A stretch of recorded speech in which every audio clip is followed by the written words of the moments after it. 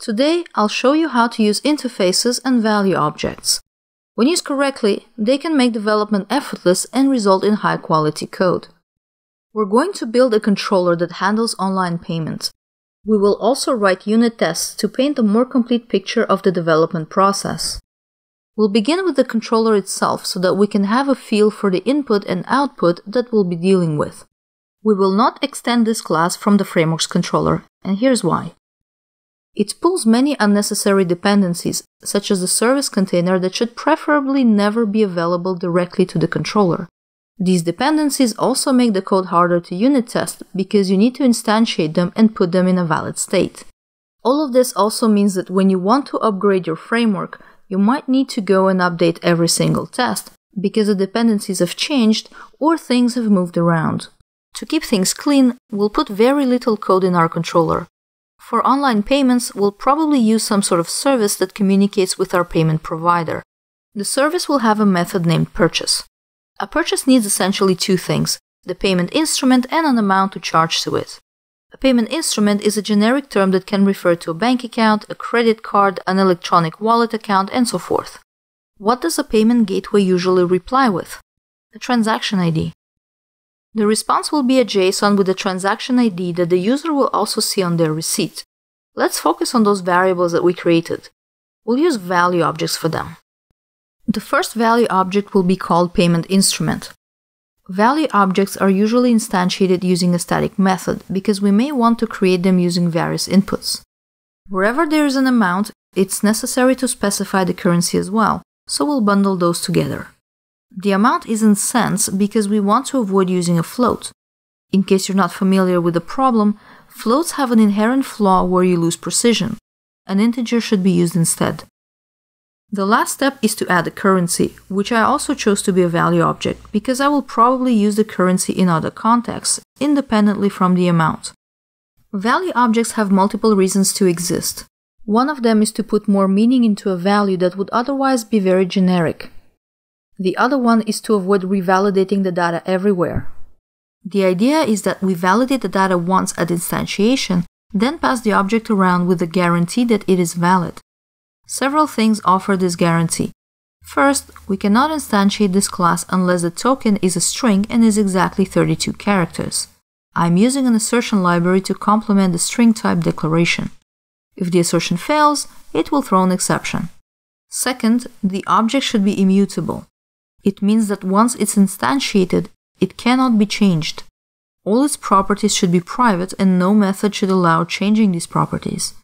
Only getters are allowed. This means that we can trust this object to be valid not just at instantiation time, but at any time later on. The class is final because I want to ensure that nobody can extend the class and modify it, as that would undermine the guarantee that we're trying to provide. I went ahead and made the constructor private too, since I want this object to be instantiable only through the static method named from token. You don't have to, but I like to do it. The instantiation is basically just new self. The last method we need here is a getter for our token. Here's what the complete class looks like. It might look like a lot of work for only one property, but that's because we often underestimate how much code we write elsewhere to compensate for the lack of such a class. We also underestimate how many bugs are hiding in our code until we start adding value objects and things start exploding. Let's take a quick look back at our controller. We still need the amount and the currency classes. Also, the transaction ID should probably be a value object too. Let's look at just one more value object since you pretty much got the idea with the previous example. The amount with currency is rather straightforward. We check that the amount is greater than zero. The currency does not need to be validated since it's a value object and that means that it's guaranteed to be valid. Composing small value objects like that makes everything much less confusing we already have enough information in our controller to know what the purchase method will look like. Payment provider will be a dependency of our controller. As with all dependencies, it is a good practice to use interfaces whenever possible and let your service container determine the concrete class to inject. Let's go and create this interface based on what we see here. The interface will have a purchase method. This method accepts a payment instrument and amount, then returns a transaction ID. Pretty simple. Now we can use that interface in the controller's constructor. We won't be creating the concrete class right away, since we already have all the code we need to unit test the controller. Just as a side note, make sure that any implementation of the payment provider interface does not add any extra methods on top of what the interface specifies. This will save you many headaches down the line. Good, let's write some unit tests. We will first test the controller. The test case will have a setup. This is where we'll instantiate a controller class with its dependencies.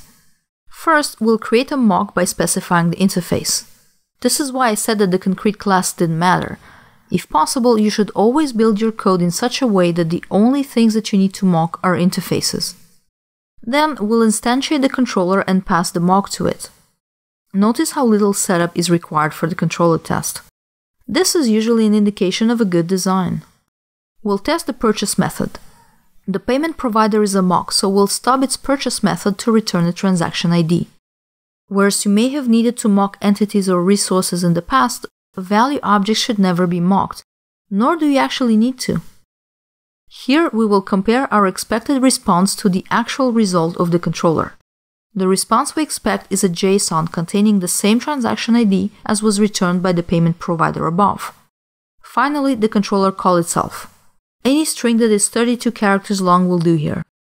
That's pretty much it. Ideally, you'd also want to check that the purchase method was called with the correct arguments. Let's try testing the currency. No need for a setup method here, as instantiation is part of what we need to be testing. To do this, we'll give the constructor an invalid code and expect an exception. Here, we'll instantiate a currency using the code for Canadian dollars, We'll immediately get the currency code and compare that against the expected code. You'll need to repeat that for every public method. It may seem unnecessary to test getters, but this is a safeguard in case another developer decides to change that method to apply some sort of formatting and therefore breaking the contract. You want the associated test to break each time the code changes. Besides, it takes a few seconds to create this test and a few milliseconds to run, so you're not optimizing anything by cutting corners.